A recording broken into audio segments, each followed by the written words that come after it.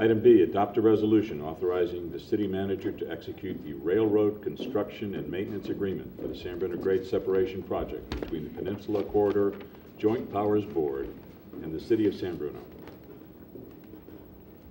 Staff, please.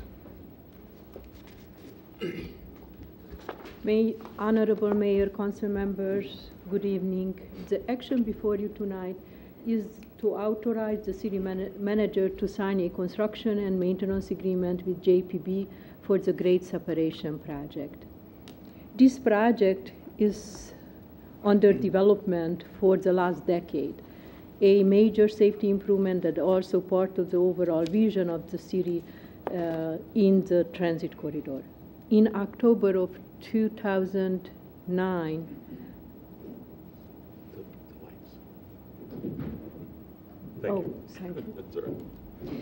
In October 2009, the council approved uh, a MOU finalizing our policies and proc- uh, procedural framework for the development of this project.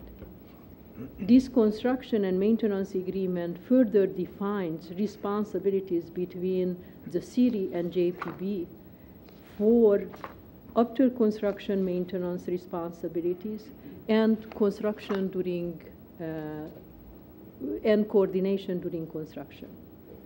I will uh, highlight a few aspects of this agreement. You had attached to uh, your package the full uh, copy of uh, the agreement, and I will, uh, in, my intention is only just highlight a few aspects of disagreement.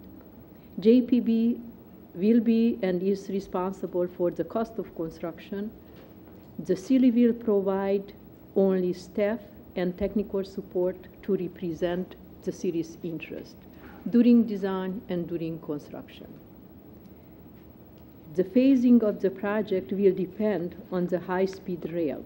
This phase will build the western two tracks, and the next phase, the eastern two tracks. JPB will consult the city for design changes if those will become necessary during construction. The term around, uh, the turnaround time for these uh, responses on the city's time, uh, on the city side, is very short. The city will need to, uh, to accommodate a 14 days uh, response window. Recognizing the impact what this construction will have on the whole community and specifically on the eastern neighborhoods, will be a 24-hour contact number available to the public to comment, ask question, to, res- uh, to respond uh, on, uh, to make any recommendation uh, with a commitment on JPB's part to have a respond, a response back in one business day. Also, as part of this uh, uh, public outreach process agreed uh, between JPB and the city, will be a ongoing feedback process uh, to the city indicating how those concerns were addressed. JPB will be responsible for, will be sole responsible for the quality of the project, communicating with the public, and minimizing the construction impact as noise, vibration, and, traf- uh, and traffic during the construction. The city will have a general oversight role representing the city in- interest during construction, exactly how the city represented the city interest uh, during the design phase. The contractor will have to comply with the city noise ordinance and activities with uh, the highest impact on residents, such as pile driving, will be performed only between 9 o'clock and 5 p.m. I will uh, emphasize uh, that this is a major construction project with a cons- uh, considerable impact on neighborhood and on the whole city. And the le- length of this construction uh, will be two years. Uh, is the expectation at this present time that the construction will start in October, and uh, this phase of uh, this project will be done in uh, an estimated time of uh, two years. After the construction is done, uh, the city will maintain all of the city streets, lights, all of the landscape area, the Posey Park, the Sylvan Avenue, pedestrian and underpass. And uh, JPB will be responsible for maintaining everything in their uh, right, right of way if is not called out specifically uh, in the agreement. It is one remaining item not included in this agreement, uh, the development of an archway was recommended and agreed by uh, the CAC uh, as part of the development of this project uh, on architectural element of this project envisioned as a critical feature to this project. It is a separate MOU under final, develop, uh, final development between us and JPB to memorialize our joint commitment to implement feasible alternative on the east side of this project with the next phase or sooner if the next phase will uh, be uncertain. Um, I am uh, here to answer any question what you might have. Also, uh, Mark Simon and Rafael Bolon from JPB, they are here uh, to answer any of your questions what you might have. Any questions of staff at this time? Um, I think we do have a couple questions for you, Mark. First of all, I want to reassure the public that uh, Councilmember Ibarra and I have met a number of times with JPB, and one of the uh, main focuses of our discussions were the public outreach process. And we made it really clear that we need a line of communication for any complaints. This is going to be a disruptive project for two years. It's going to be digging and dirt and noise and everything. We've tried to fine tune as best we could the hours of working, and if there are any complaints, um, we want them, uh, you know, received uh, within a 24-hour period or, or, or uh, responded to within a 24-hour period. And you will have a couple of point people right there uh, so that they're always available for, uh, for city staff. And city staff has your, has your numbers available 24 hours a day. So I just want to re- reassure the public that we really tried to make every effort that we could at this point in time, because this is sort of a moving target, um, to reassure them that, you know, we're trying to take, do their, have their best interests in, in, in mind. Also, uh, can you give us a little bit of, um, it's, it's hard to, it's hard. We, we have the high-speed rail. And high-speed rail says that this project is already in place. Tell us a little bit about some of this confusion and going forward, how we're to look at this project. Two-track, four-track, high-speed rail, where does it stand? Is it coming through? You don't know yet, but is it going to be two or three or five years after the fact? Where, where are we in that whole mix? Well, of course, like, um, first of all, I want to confirm that your city staff does have my number, um, in more ways than one. Uh, Of course, I can't speak for high-speed rail, and one of the difficulties, although Caltrain is in partnership with high-speed rail under the Peninsula Rail Program to advance projects to improve Caltrain and high-speed rail projects that have common utility, um, when it comes to their precise plans or the progress of their environmental review process, I'm not really in a position to speak for them. Having said that, uh, the EIR calls for a time frame of eight to 10 years for high-speed rail to make its final decision, obviously sooner than that, but to really be under construction, if not finalized by then. My, my sense is, from our conversations with the people at High Speed Rail, that they have every intention of coming through San Bruno and adding the second set of tracks. Our position is, um, and this position is sometimes misrepresented, in fact, by residents of this very community, but our position is uh, that Caltrain owns and operates the railroad in trust for the people we serve and the communities we serve. And any, any efforts by high-speed rail on the Caltrain right-of-way are going to be done in a way that enhances Caltrain and answers the concerns and and desires of the communities that we serve. It's our expectation, there's no reason to think otherwise, that high-speed rail will be coming through San Bruno on a, a raised track of the kind we're building now. There are a whole bunch of engineering reasons why we can't do much else than that, uh, but we think that we've, uh, through the lengthy negotiation, lengthy isn't really the right word, through the, the complicated and uh, complex negotiations with the city staff, we think we've arrived at a project that is going to make something uh, look good for the city of San Bruno. It's going to be effective for what Caltrain needs. It's going to be a significant safety enhancement, which is our first concern. I don't know if this is answering your question, but the fact is, we can't predict what high-speed rail is going to do. That's one of the reasons that the agreements we have try to build into it what happens if high-speed rail doesn't come. I believe it's going to come. I believe it's going to come within the time frame described in their EIR, if not sooner. Uh, and we're building it with that in mind. We're building it with the expectation that it will have as its basis the ability for high-speed rail to expand an additional two tracks. And in fact, we're seeking federal funding for high-speed rail money to help pay for a portion of, the portion of this project that has utility for high-speed rail. Okay. Hey, City Manager, you got a question or comment? If I, wa- I wanted to elaborate on that just a little bit, Mark, and just make sure that we're all understanding the same thing. The, the, um, if you talk to high-speed rail people in their presentations, I know you're aware of this, identifies the San Bruno situation compared to others up and down this corridor as a grade-separated situation as the existing condition. So that is true.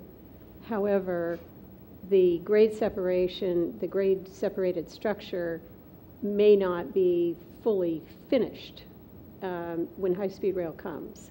So how, uh, can you tell us a little bit about the partnership between yourselves, J- the JPB, and the high-speed rail folks to bridge that gulf, uh, that, that- they're not understanding something different, that they're, that they understand there's work that needs to be done by them, or is expected to be done by them, as part of making sure that we have a fully finished, functional, and aesthetically pleasing grade separation. I think a lot of what we're talking about has to do with the nature of the EIR and the alternatives analysis process that high-speed rail has to go through. They have to begin by not precluding any option. And then as they gather information for the basis of their decision, they begin to narrow those options. They've done one round of that, and that's the round I think we're referring to that indicates San Bruno would be an elevated, grade-separated structure as a completed part of the project. I would, I would, from what I understand from the conversations I've had with our own staff who are working part-time for us and part-time for high-speed rail, the next round of cuts on the alternatives analysis, which should be discussed at the August 5th meeting of the uh, High Speed Rail Authority, will further refine that. What it should show is what we expect, which is that San Bruno will be a four-track, grade-separated railroad under the construction of high-speed rail and Caltrain in partnership as the Peninsula Rail Program. There's no reason to expect otherwise, but what I can tell you, and I can't emphasize this strongly enough, is that's the commitment we made. That's the, that's the design that we've approved, is one that is essentially expandable to four tracks for high-speed rail. That's our understanding as the owners and operators and holders in trust of this right-of-way. That's the commitment we make to you. So as this process unfolds, more information becomes available. Some of us want to jump ahead to the end and see how it's all going to turn out or anticipate how it might not turn out so that we can build into it certainties that it won't turn out that way. But I think that part of the problem that we all face here on the peninsula, so one of the frustrations is high-speed rail sort of has to walk through its process step by step, and it has to act as though it has no idea how it's going to turn out at the end. If they do that, the whole EIR can be effectively challenged and tossed out. So they have to act as though there, there's a constant sort of wall. This is all we can say right now up to this point, and we can lead ourselves to the next point. It's not hard to anticipate in many cases along the peninsula where they're going to end up. There are portions that we know can't be, where the road right-of-way can't be expanded to accommodate four tracks. So they have to find an alternative to that. They can't skip ahead, even though we can. But the fact remains, we're building a two, two-track grade separation that has utility and is expandable to four-track. It is our expectation that that's what's going to happen. Any other questions of uh, staff or of uh, JPB representatives? Let me just, Mr. Ibarra? Mark, so for the viewers, for the public, two-year project, what do you anticipate it's going to look like in two years? Uh, It'll be beautiful. I'll be glad you did it. You're being Uh, it'll be- it'll be- I should add, one of the things that was at the heart of this whole plan was that we would be finishing with this portion around the time high-speed rail was ready to begin its portion. We wanted to try and avoid having the city have a two-year project, shut down for a year, and then go through the misery and, and unhappiness of another two-year project. We were hoping to make this essentially one project. And we can say that it's the Peninsula Rail Program because it is a project that has utility and has meaning to both Caltrain and high-speed rail. So our hope is that it will be longer than two years because high-speed rail will have made these critical decisions, provided the funding, and we'll be moving along into the next phase as, as uh, Klara referred to it. So it means more than perhaps two years. It means, uh, who knows how long it would take. I don't want to predict for high-speed rail how long it would take them to build their project. But the idea is that it would be one sort of project rather than, you know, constantly coming back and, and making a misery out of San Bruno over an extended period of time. Any other questions? I'll say one more thing, and I've said it before here at the council meeting, that the credibility of, of, of your process is really um, out in the public here now. And you've mentioned it too before, that this has to be a model for what you intend to do, uh, not just at San Bruno, but up and down the peninsula. So, um, you know, all the eyes at the peninsula are on you. And I know you have a lot of uh, other people that probably don't work as, as easily with you as San Bruno has over the last number of years. I also want to take a, a moment to uh, um, thank very much the Citizens Advisory Committee over the last seven to eight years, working very, very hard from a safety standpoint, which initiated this whole thing, to shovels in the ground pretty quick. So they've done one heck of a job and uh, put an awful lot of time in, and they deserve uh, uh, compliments. Thank you. If, if I could take a moment just to make a couple of observations, because this is, I, I think, an important moment to Caltrain and even a historic moment for San Bruno. Um, I, I think based on the sense we get from your staff and from the subcommittee members that we've had the privilege of meeting with, um, I, I want to say first and foremost that the responsibility for this communication and outreach program is mine. And I want to say that publicly and make sure that everybody understands I accept that responsibility. Um, and, and we're going to do our best, uh, mindful of what's happened in this community before and some of the unhappiness that's been caused maybe by other agencies and by other projects. Uh, we want to use that as a model for how to do this right and what not to do. I- I, I do want to mention a couple of things. One is it was almost exactly a year ago that we met with uh, the the committee of this council and your staff uh, to say that we had uh, identified $30 million in state funding that was available, we didn't think would be available. And we made what we described then as the unreasonable request to get this project designed and ready to go out to bid and ready to go out to contract in a year. Uh, We were right, it was unreasonable, um, not just for your staff, but for ours as well. But we did so, and it's a real achievement uh, for everybody who's worked on this, Raphael and Klara most notably, that we've gotten to this point. It is um, a chance for us to expedite something that we know is an opportunity for the city uh, to really reinvent itself in ways that I know many of you have wanted to for a long time. And we're very, very supportive of that. As, as I have said many times, uh, largely to no or little effect, uh, I grew up here. This town is very important to me.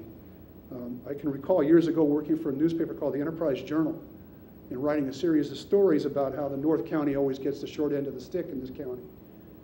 And I know that's something that I felt when I grew up here in San Bruno. I love this town, but I felt as though everybody else seemed to go first. And San Bruno always seemed to have to be told to wait until it was their turn. Well, I can tell you, you're going first. This is $100 million of the taxpayers' money in San Mateo County we're going to spend on this grade separation. This may be, this may be the last one we do because there's not that much more money in this grade separation program. So uh, I don't mean to say that you guys don't deserve it. I don't mean to say that we're unhappy to be doing it. We're proud of this project. We- think ultimately you're going to be proud of it. Uh, But I, I'm just pleased to be able to stand here on an occasion of- such as this and say San Bruno gets to go first this time. So if you have questions now, if you have them later, uh, everybody knows how to get in touch with me. We're going to be available a lot. And so thank you for the opportunity to talk to you and for making these few remarks. Thank you very much. I- Irene? Thank you. I should have just kept my mouth. You were hoping I We would wanna just get that out by. first. Um, I I read through this a couple of times, and the mo- every time I read it, I got more and more confused. Uh, And I Welcome think- to my world. Par- I think part of the- my confusion, and I, I'm hoping you can straighten me out, is that you have a scope of project, and it has main improvements, and then there's a list. And then there's another section that says op, optional improvements, and then there's another list. Some of them seem to exclude each other, and some of them seem to overlap. And, for example, um, main improvements, let's see. You mean like whether or not we're going to build a station? Yeah, that part. Yeah. Because, yeah. Let let me, let me respond to that this way. Well, well, let me, let me, Okay. let me just say this, and this is for the audience, the television audience as well. In the first part, it says a station will be built on parking, and then it says optional improvements, at-grade parking lot and a new transit center. And then it's, it's count, it sounds through the rest of it as though this is gonna happen, but this will only happen if we kind of, all these other things happen. So it sounds almost as if if high-speed rail doesn't come, or if these other things don't happen, there won't be a station. I, I realize that's not how it's intended, but that's how it reads. So I'm, I'd like some clarification on that. for- For the record, optional means whether we do it or whether high-speed rail does it, not whether or not it gets done. Okay, that's Um, not clear, It, well, to me. well, okay, but I, I believe, I don't believe there's any uh, equivocation in it, uh, intentional or otherwise. Okay, Let me state categorically, um, we're going to build a station in San Bruno. We are, or high-speed rail is. If we build one and then high-speed rail comes, it's kind of pointless to tear it out. And and it'd be a waste of a lot of money, especially, and then, so then they, we'd have them build it, because the reason we needed a station now is for high-speed rail, so they get to pay for it. They get to build it. So it's all a function of not whether or not we're going to do it, but whether we're going to do it or whether high-speed rail is going to do it. And there are a number of items that fall into that category, but none of it is meant to imply or, or infer or even state in any way that we're not going to do these things. And the station's a great example. okay. I'm not quite sure what we'd have there in the way of picking people up if we didn't have the station. Well, that's, yes, I agree with you. The, the other confusion is, if high-speed rail doesn't have to come or start construction anywhere from eight to 10 years, what's going to happen? Are, Well, eight to 10 years is, is according to the, their EIR, when they would be completing construction, not starting. okay, through the whole, Right, what, you know, what's gonna happen, I, I can't tell you what's gonna happen. What do I think's gonna happen? You know, is worth about as much as the amount of money I spent on the Diet Dr. Pepper I bought before the meeting started, or less. Um, What I can tell you is that we're working very closely with High Speed Rail. Uh, We've already announced that there are four projects that would benefit Caltrain, we think qualify for high-speed rail funding. So if we get the funding for those, that from the federal government, you could argue that those projects are the first construction projects for high-speed rail on our right-of-way. And one of them is the grade separation in San Bruno. The other two, three are work in the north terminal in San Francisco, work in the south terminal, and a signal system called positive train control, which is, we think, going to set a national standard for how to uh, signal our trains to operate more safely. Um, But it's all going to be a work in progress, and I recognize that to some degree, there's going to be a level of uncertainty and even uncomfort, discomfort because of that. Um, We have done the best we can to delineate these things as completely as we can, and your staff has done a very good job of probably making us do more than we were willing to do along those lines, but that's really the nature of it. okay. Klara? I just would like to add a uh, clarifying comment. Uh, The, in, the spirit of intent of this agreement, Councilmember I- uh, O'Connell, is that if after the first phase is close to uh, finalization, if the decision at that time will be that the high-speed rail, the next two tracks, will not be built in a reasonable time, and that reasonable time never was agreed to, what that really mean, two months, three months, one year, then the east side of this project will be entirely finished, including with landscape on First Avenue and everything else. Like, uh, will be entirely the east side of the project will looks like the west side of the project and will be entirely uh, finalized Two, but only two tracks. with only two tracks. But the east side face also uh, will have the same improvement, will have uh, the same treatment, will have uh, the same uh, landscape improvement on the east side versus how is uh, improved the project on the west side. I I had two more. Well, let me just add, we'll know more in October, we'll know more a year from October, we'll know more two years from October. And this is, I- think we all regard this as a, a living document. It's not something that we're all going to say, you know, a year from October, oh, that's it, we're done. We'll continue to work with the city, that's our interest. It's, uh, since I'm not a member of the subcommittee, I, I Sure. have to catch up on some of these things. Um, I noticed on page 10 where it talks about public outreach, and I'm sure your intention is to also do some in bilingual Yes. um, outreach and Spanish and Yes. whatever needs to be done in that area. Yeah, in fact, we, Okay. we've already done some research along those lines in conjunction with the, uh, uh, what's the project we're working on right now? I can't forget it. Thank you, the box culvert. Um, uh, In terms, in terms of how, we've already done outreach for that project. It's been multilingual. We actually did some research on which languages ought to be included. So, yeah, I mean, that, our intention is to do this uh, well enough to satisfy you. Great. And I, just one more thing. Um, On page 12, it talks about city improvements, access to right-of-way, and it talks about you doing a pre-construction survey, and then, that- so that afterwards you'll be able to bring everything back up to what it was. Some of the streets in that area aren't that great at the moment, um, and partly we've deferred maintenance on some of those because we knew the construction was coming through. So if you do the survey now and try to bring back the potholes, um, is there, is there a way we could, you know, bring it up to a standard or bring it up to something, or cooperate with the city and maybe, you know, do something jointly that you guys don't do something and then we come back and have to rip it up and do something else? Um, I, I think that's, I think that's, if not the spirit of the agreement, then almost the language of the agreement. That We require city sign-off on some of these matters before we can say we're completed with. Oh, sorry. My mic was Oh. on, sorry. Oh my Okay. God, I- thank God, I thought I was losing my hearing. Um, Those were, those were my main concerns. I- I, I think I can state without fear of being wrong, we're not going to put the potholes back. Thank you very much. Um, We know we have to repave the streets, we're gonna have to lower them a little bit. And part of our plan is to pave those streets over once we're done lowering. So they'll end up being repaved. Uh, It's not our interest, and it's not, here. we just don't wanna do that, I guess I should We, say. we've been burned before. Well, This is why I'm, yeah, and I understand that, and- and I, I recognize that we have to live up to those standards. Okay. Thank you. Anyone else? Vice Mayor? Yeah, very quick. I think uh, my colleagues have addressed most of the issues.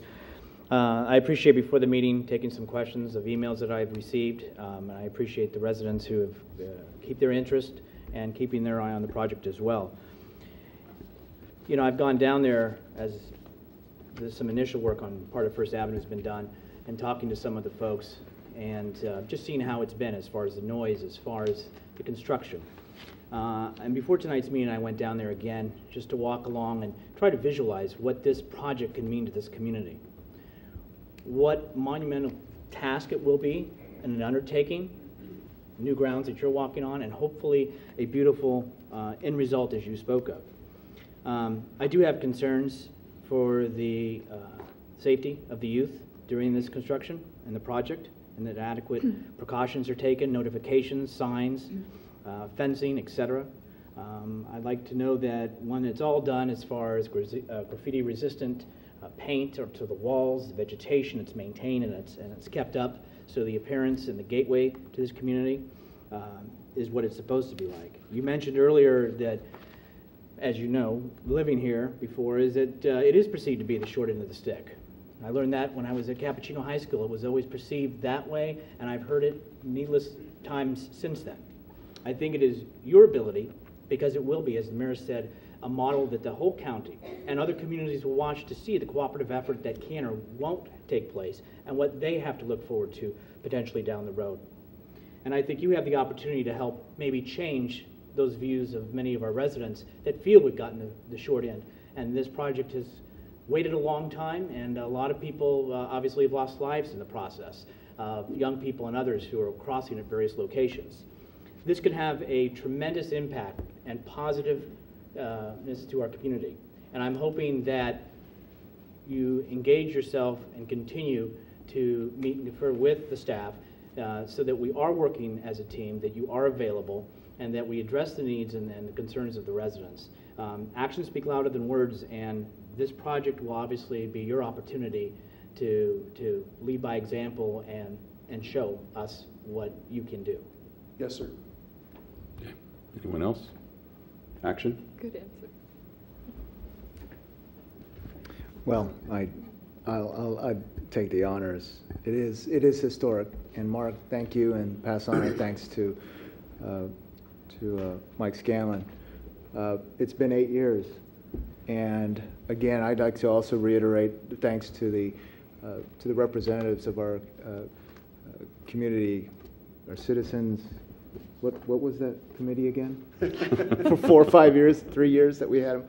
Uh, About Apartments. 17, 17 residents and uh, uh, just really outspoken people who went through and actually learned how to become engineers, uh, railroad engineers, and got to really understand what, uh, what the undertaking was. And our credibility is here to, to be able to give that project, you know, to that committee and to the community as, as we envisioned it over those few years. And I can't think of anything that's more important, you know, for this community. And it started with safety. It started with some deaths. And so uh, we're going to take care of that, and plus we're going to improve the community. And with that, I'll be very honored and proud to introduce the resolution accepting uh, this, uh, this agreement. Councilmember Ibarra. Aye. Councilmember Salazar. Aye. Councilmember O'Connell. Aye. Vice Mayor Medina. Aye. Mayor Ruane. Aye. Congratulations, thank you. Thank you very much.